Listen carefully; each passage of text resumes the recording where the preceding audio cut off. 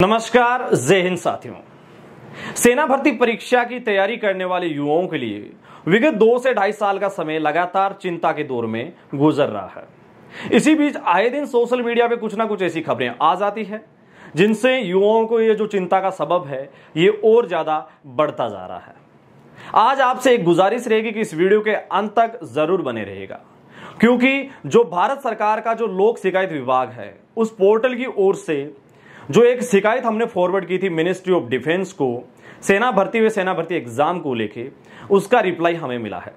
जिसमें हमने तमाम चिंताएँ शेयर की थी सेना भर्ती एग्ज़ाम रद्द से लेके, हर एक वो एंगल जो हमें शेयर करना था युवाओं के हित में। उसका जो जवाब मिला है वो इस वीडियो के माध्यम से मैं आपके साथ साझा करूँगा। लेकिन सबसे पहले आपको बताएँ कि सोशल मीडिया पे या आपके व्हाट्सएप पे आपको एक ऑडियो ज़रूर सुनने को मिला होगा। यूट्यूब प्लेटफॉर्म पे भी ये ऑडियो वायरल हो रहा है। इस ऑडियो में सेना भर्ती एग्ज़ाम के रद्द होने की 99.99 रद्द होने की जो परसेंटेज है, जो रेशियो है, वो बताया जा रहा है। हालाँकि किस सोर्स के माध्यम से ये ऑडियो आ रहा है, ये तो जो ऑडियो वायरल करने वाले हैं, वही लोग जाने। हो सकता है उनके किस सोर्सेज के माध्यम से उनको ये जानकारी मिली होगी, क्योंकि विगत एक महीने से लगातार social media YouTube platform Twitter सब जगह एग्ज़ाम रद्द होने को लेकर एक धड़ा अपने अपने विचार दे रहा है। वायरल ऑडियो में कोर्ट जाने की भी बातें कही जा रही है, उन्होंने कहा एग्ज़ाम होगा लेकिन कोर्ट के माध्यम से। तो आपको बता दें कि हमारी ओर से जो कोर्ट की प्रोसीजर्स है, वो पूरी कर ली गई है। अब आपको बताएँ, आपको भी पता होना चाहिए कि देश में जितने भी हाई कोर्ट है, सुप्रीम कोर्ट है, उनकी छुट्टियाँ चल रही है। सुप्रीम कोर्ट में 12 जुलाई तक छुट्टियाँ हैं। उससे पहले देश में उन्हीं मुद्दों के ऊपर सुनवाई की जा सकती है जो बहुत ज़्यादा चर्चाओं में है। अब हम ये नहीं कहेंगे कि ये मुद्दा चर्चा में नहीं है। ये सबसे ज़्यादा चर्चा में लेकिन ये बिल्कुल हमारी बदनसीबी है, या सिस्टम की बदनसीबी कहें, ये अलग बात है। लेकिन हमारी ओर से जो प्रक्रिया है, वो कंप्लीट कर ली गई है, और जुलाई के प्रथम सप्ताह में इसके दायर होने की संभावनाएँ बताई जा रही है। साथ साथ वायरल ऑडियो में जो बातें हैं, उसमें मुख्य बात यह है कि आर्मी एग्ज़ाम है, वो रद्द हो जाएगा और इसको लेकर भारत सरकार जल्द ही घोषणा करेगा। आपको बता दें कि आर्मी हेडक्वार्टर को जो हमने एक आरटीआई लगाई थी, हालाँकि उस आरटीआई का अभी हम आपके साथ विश्लेषण शेयर नहीं करेंगे क्योंकि उस आरटीआई का जल्दी हमें जो रिप्लाई मिला है, वो हमने डिफेंस एक्सपर्ट्स को भेजा है। वहाँ से उस आरटीआई का सही तरीके से ट्रांसलेट होने के बाद जो जो बातें आएगी, वो आपके साथ शेयर करेंगे। लेकिन ऊपरी ऊपर की बातें आपको बता दें कि सेना भर्ती का एग्ज़ाम जो है, वो अब केवल और केवल भारत सरकार के हाथों में है। ये एग्ज़ाम कंडक्ट करवाना, ये आरटीआई में साफ़ सेना मुख्यालय की ओर से लिखा गया है। आइए अब बात करते हैं सेना जो भर्ती है, जो एग्ज़ाम है, उसको लेके भारत सरकार की लोक शिकायत विभाग की ओर से जो हमें जवाब मिला है, वो पूरी की पूरी जानकारी आपके साथ साझा करते हैं, क्या कहा गया है उसके जवाब। भारत सरकार के लोक शिकायत विभाग पोर्टल पे हमने सेना भर्ती से जुड़ी जो समस्याएँ हैं, ये मिनिस्ट्री ऑफ़ डिफेंस को फॉरवर्ड की। स्क्रीन के ऊपर आप देख रहे हैं, हमने लिखा क्या कि it has been since more than one year of the common entrance exam of the army recruitment हमने कहा कि एग्ज़ाम जो है वो एक साल से अधिक समय से लगातार पेंडिंग की स्थिति में है। और March 2000 in the recruitment year 2020 2021 is being delayed and there is no proper information given to the us from the concern authority संबंधित विभाग की ओर से हमें एग्ज़ाम को लेके 2021 21 बीस, इक्कीस से लेके अभी तक किसी भी प्रकार की जानकारी भी नहीं मिल रही है।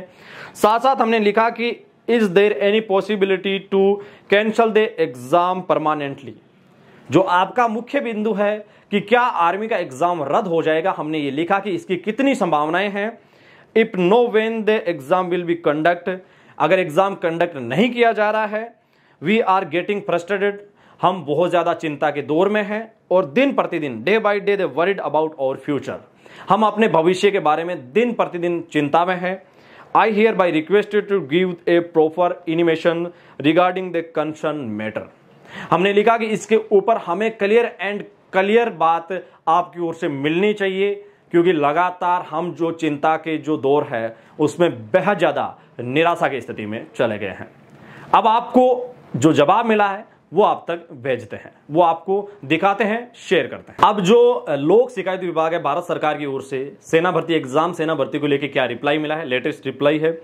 उन्होंने लिखा है कि with reference to your grievance in ministry to defence You are informed that the recruitment release examination in the armed forces and conduct on the basis of manpower requirement. Due to COVID-19 pandemic, there was a temporary suspension on release and common entrance exam. Fresh instructions for the conduct of release and common entrance exam will be issued shortly.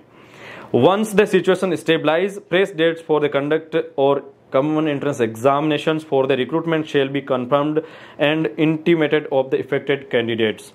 अब मैं इसका आपको translate करके बता देता हूँ, इसमें लिखा क्या गया है कि आपको सूचित किया जाता है कि सस्त्र बलों की सैन्य भर्ती जो परीक्षा है, उसको कोविड 19 महामारी के आधार पर रोका गया था। उसने लिखा है कि परीक्षा के आधार पर आयोजित जो की जाती है, वो जनशक्ति की आवश्यकता के आधार से जुड़ी हुई है। रैलियों और सामान्य प्रवेश परीक्षा के आयोजन को लेकर नए निर्देश बेहद जल्द जारी कर दिए जाएँगे। आप यहाँ नोट करें कि इसमें रैली वे साथ साथ आपके आर्मी एग्ज़ाम की बात भी लिखी गई है। उन्होंने लिखा कि एक बार स्थिति स्थिर हो जाने पर भर्ती के लिए आयोजित होने वाली सामान्य प्रवेश परीक्षा या सामान्य भर्ती जो प्रक्रिया है, इसकी नई तारीख की पुष्टि बेहद जल्दी की जाएगी और सभी जो प्रभावित उम्मीदवार है, जो परेशान उम्मीदवार हैं, उनको सूचित भी कर दिया जाएगा। अधिकारियों से संबंधित अधिकारी का जो नाम है, जिन्होंने इसके बारे में हमें सुझाव भेजा है, वो captain I N Shantanu Sharma, निर्देशक एजी जो आप स्क्रीन के ऊपर देख पा रहे हैं। देखिए, आर्मी एग्ज़ाम रद्द होने के पीछे कई तरीके के बिंदु सामने आते हैं। दो साल से ज़्यादा समय हो गए जो भर्ती देखने के समय युवा इक्कीस साल के थे, वो अब तेईस के हो गए और अगर टेक्निकल कलर की बात करें तो उस समय तेईस के थे, वो पच्चीस के हो गए हैं। वो इश्यूज़ ज़रूर सामने आते हैं। और एक ये भी बात है कि अगर आप एग्ज़ाम कंडक्ट करवाने वाले हैं तो अब करवा क्यों नहीं रहे? क्योंकि सारी की सारी स्थिति क्लियर है। और इसी से जोड़ के अलग अलग बातें सामने आ रही है आर्मी एग्ज़ाम को लेके। तो हम आपको बता दें कि हमारी ओर से जितने स्टैंड है, लीगली स्टैंड है, वो भी फॉलो कर लिया गया है। आपको एक ही राय रहेगी कि सेना मुख्यालय, मिनिस्ट्री ऑफ़ डिफेंस बार बार ये बात कह रही है कि आप एग्ज़ाम की तैयारी करते रहें। कॉमन एंट्रेंस एग्ज़ाम में भर्ती दोनों की बातें वो कह रहा है।